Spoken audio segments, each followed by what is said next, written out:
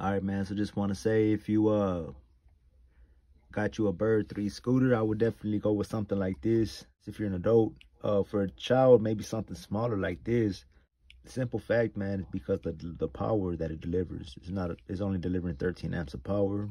This one here is delivering 30 amps of power, which is double the amount. So, yeah, you can imagine this right here will get you uphill a lot faster than this one will. Your top speed is going to be the same. It's just going to deliver a lot more power going uphill, like I said, or whatever the case may be. You may be going through some uh, some mud or grass. You may be cutting through some grass or something like that, dirt rock or whatever. You know what I mean?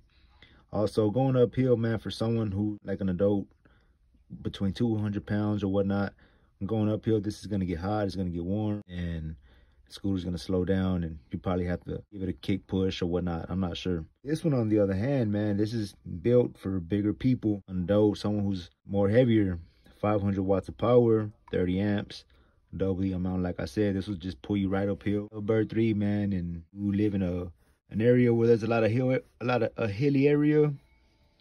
You know what I mean? I would definitely go with something like this. It won't get hot. It's less less effort to to get you to where you're gonna go, your top speed. So yeah, man, I'm gonna go ahead and drop the link down in the box below. Y'all make sure y'all comment, like, subscribe. Um, I'm not saying these are bad controllers, man. It just depends on the area you live in and what you're using a scooter for or whatnot like that. Regular commute or but these are both 350 watt. This one's 13 amps. This one's 18 amps. But yeah, man, that's it.